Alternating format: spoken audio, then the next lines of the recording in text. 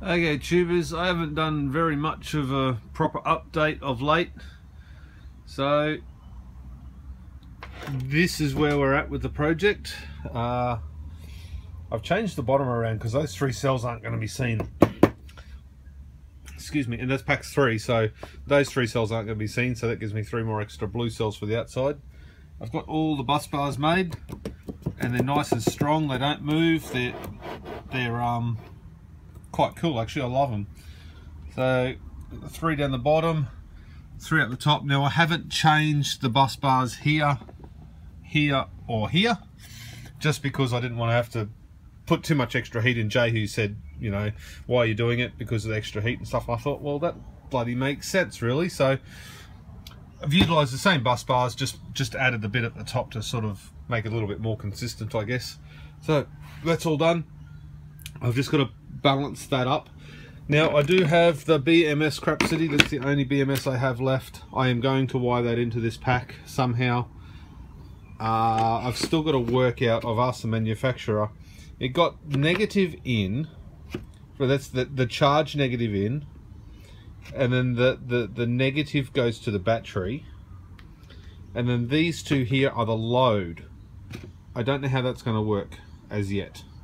I'm, I'm hoping I don't have to run the load through it. I'm hoping that this and this will be enough for it to for it to work. Let me know if I'm wrong. Got the balance leads there, so I'm going to hook that up. Hopefully it works. It's meant to be 200 amp BMS, but I am thinking it's probably not. And I've also I've all showed you before the, the pathetic level of manufacturing, and you really can't see down in there, but down inside of there it's got more of these um, blue cables installed. So that's where we're at YouTube. I have got another pack there. Actually I think it's more than a pack two four six eight. So there's another eight there already made. Obviously that's one that's the third pack and this will be the fourth pack. So I'm also did you know that I'm on to my third half a kilo pack of solder Oh, yeah, 500 grams. 28 bucks each. 26 bucks 20 each. So that's my third roll.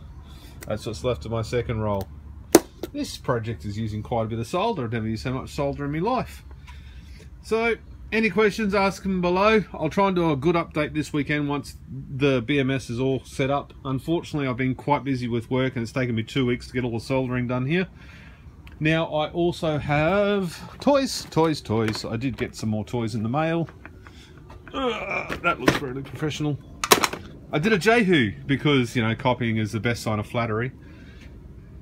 So I'm going to try and make one of these LED lights that Jehu's made and looks friggin' cool as.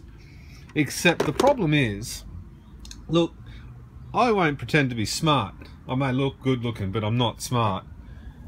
I reckon there's something about those two letters there that might stop this from working the way I anticipated. Hmm. Oh well, live and learn I guess. It come attached with this little little doohickey. I don't know whether it's a transformer or what, and I've got piss poor light, I'm very sorry. It's a bit better. So I don't know what that is. This cable here was attached to that end and then that plugs into that. I was hoping just to use one of them and plug it all in and work but I thought it was I thought this was a transformer transforming it from AC to DC who knows? I don't know. And I got this. Oh, uh, under five minutes Pete you can do it. No editing. Battery monitor. Yay. A Victron energy meter which means I can use the um, Solarmon software to its full potential, which will be a very interesting thing.